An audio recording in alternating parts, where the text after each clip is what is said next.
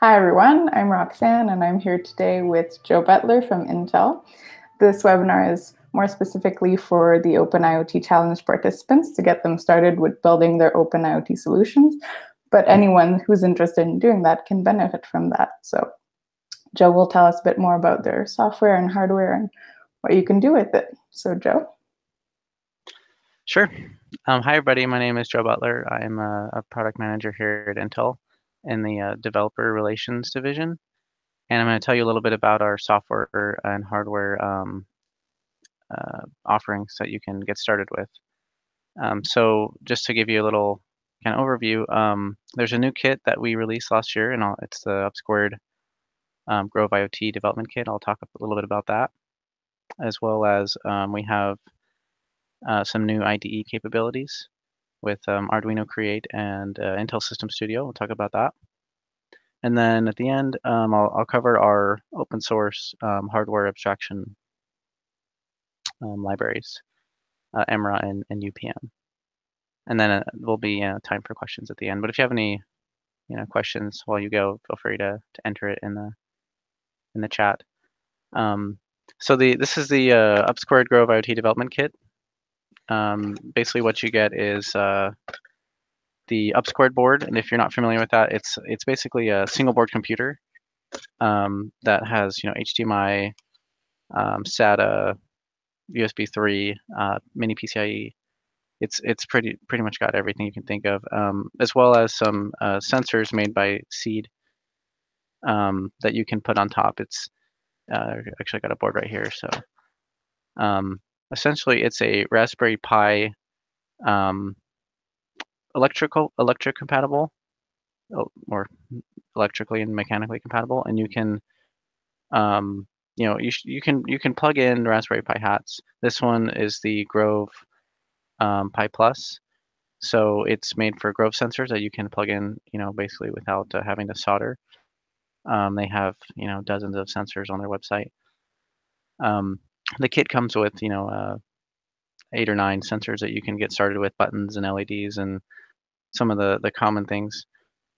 Um, and this board's really great for uh, it's it's kind of an all-purpose board. It's really great for uh, you know high computing applications like computer vision or um, you know even some some machine learning um, or you know sort of industrial controls and things that really require a lot of um, intense you know CPU power. Um, it's it also can you know drive a display. It's like I said, it's got a HDMI and um, DisplayPort.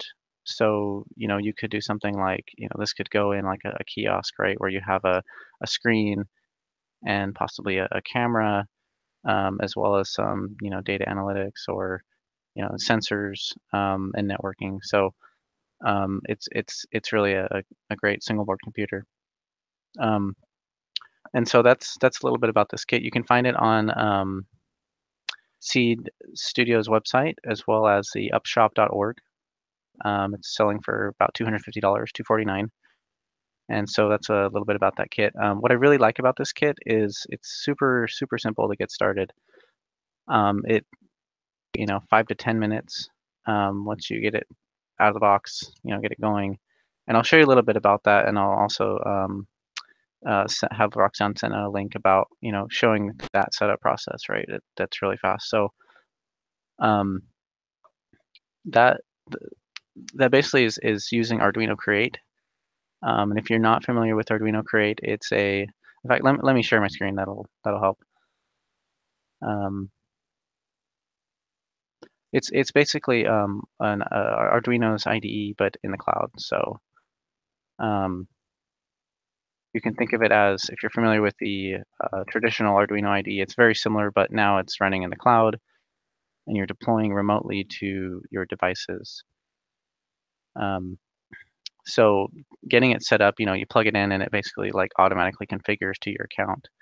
And, you know, you can push sketches to it um, from the internet. So you don't have to be physically connected to your um, device you know, connect a connection to the internet. And the other can run multiple sketches, right? Um, so in a you know traditional IDE, you can only run one, right? But in you can run as many as you'd like. Uh, and since it's the upsquared board is running uh, Ubuntu 16.04, it comes shipped with Ubuntu 16.04 uh, server.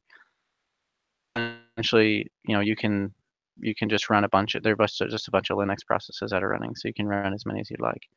Um, there's a lot of built-in examples that we have for the upsquared board. Uh, let me find them. So um, there's, uh, you know, about eight here. We've got coming soon around uh, computer vision, um, using sensors. And so basically what you would do is um, your board would show up here in the list. I don't have mine connected right now, but um, you would select it and then you would just like in Arduino Arduino IDE, you would upload it and it would compile in the cloud and then push the sketch to your board and run it. So, um, that's uh, essentially you know how that works. Um, uh, the the the really interesting thing about this is it's um, you know basically you can also at, run other other libraries right that you wouldn't traditionally run in, in uh, Arduino IDE. So um, OpenCV is is included now. So um, find it. So this is actually the full OpenCV um, you know project that uh, you can find on opencv.org. Um, now running you know through Arduino on a Linux board. So that's uh, really powerful because you can now you know you can add other libraries yourself um, or you can you can use the ones that are that are built in. Um, let me uh, let me go ahead and uh, explain a little bit more about um, the uh, Emron UPM and how they're integrated into um, Arduino Create. So uh, if you're if you're familiar with um, you know adding sensors right to a to a board, um, essentially what you do is you you go buy a sensor right. Um, usually comes with some sort of sample code, but um, not always. And you know, you need to plug it in and, and figure out how to make it work, right? Um, what we've done with this open source project called uh, MRAA, and let me let me um, show you the website MRAA and UPM. Um, UPM.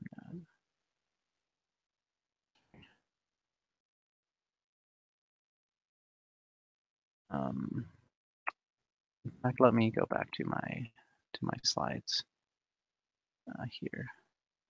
So me skip to here. Let me show you this first.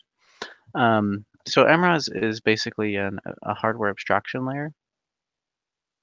So it, it creates this like standard I/O for all all these boards that are running Linux. So um, instead of having a you know separate way to talk to you know GPIO on one board versus another, um, it abstracts all that. So it's the same API, and, and actually that you could even use the same code.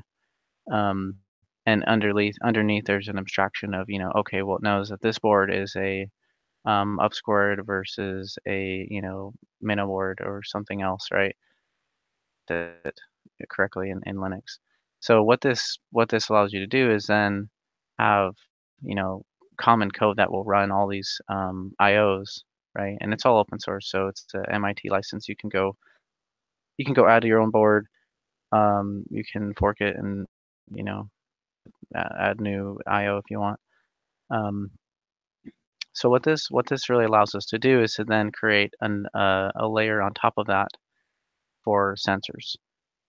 Um, and this is our, our what we call the UPM library. So um, basically on, on top of MRAA's APIs, we now have um, a, a, huge sensor library. So there's over 300 sensors in this in the in this uh, collection, um, and they're all written on top of MRAA. So um, you know you you basically uh, have a board that works with MRA, and now you've got access to like over 300 sensors. Um, so let let me um, show you a little bit what that means. So um, if you're if you're uh, if you're looking to get started, right? So you can come to this site and you can you know look for a, a, type of sensor, right? So let's say you're trying to do um, right here, so analog joystick. So um, you can filter by you know categories. You can search by part number because all the code is written um, in terms of the part number, if you can see, as you can see here. Um, so you'll come here, you'll look, you'll look through it, make sure that you know, okay, this is the one that you have. Just basically copy the sample code into your project and um, and run it, and you know that at least gets you started, right? And then you can add it to your project and and tweak it how you'd like. But um, the cool thing is that all MRAA and UPM are um, written in C, and then we create bindings for Java, Python, um, Node.js, right? So you can, it's you got, got multiple language support, um, and it's it's really flexible in that way. So this, this is kind of the the number one way to to get started quickly is you you know find the sensors that you want, um, and you know get the code, put it on your board, and and run it. So um, now, if you come here and you find sensors and you don't find a sensor that that you're interested in, then there's a couple things you can do. One is you can find a similar sensor that uses the same um, I/O and might have the same calls. So, um, for example, like uh, maybe this uh, accelerometer or you know temperature sensor. If there's another one that's very similar, then maybe you can just use that code, even though it's not exactly made for it. Um, or you can may have to tweak it slightly as you fall back to using MRAA. So you could just do, you know, I2C commands or GPIO commands yourself, um, and that would work just fine too. So um, the the cool thing is that this is all built into Arduino Create. Um, let me show you an example. So um, to use this, the, the Grove LCD, for example, is um, is really straightforward. You basically you know, add it. So this is the part number of the, the Grove LCD that comes in the Upsquared kit. Um, and then you, you in, initialize it, um, you know, I2C port, and this is all kind of default. And then, um, you know, there's there's sample code included, and this is basically lifted straight from um, the UPM site and, and put in here, and, and it'll run. You're well on your way to, to getting started. Um, so that's that's a little bit about you know the open source uh, hardware abstraction libraries and Arduino Create. Now the the really cool thing too is that if you're um, in in Arduino Create and you you feel like you really want more from an IDE, right? Um, in terms of uh, you know debugging or you know advanced like system tools and profiling, you can get that through Intel's uh, Intel System Studio 2018. So um, it's a um, it's it's basically an Eclipse IDE and um, has all these you know um, profiling tools and power profiling and graphics profiling and memory profiling and all this these advanced capabilities. So you, what you can actually do is you can take your project here um, and you can export it. Let me, uh, it won't work if I do it in one of the examples, but you have to you have to do it out of your sketchbook. So if you if you export it, you can, you know, just basically export a CMake file, and you you can then import it into Studio and you know then continue your development in there. So um, that's you know basically a, a kind of a you know if lets you get started with Arduino Create if you want. You can move over to uh, Intel System Studio for advanced capabilities. So um,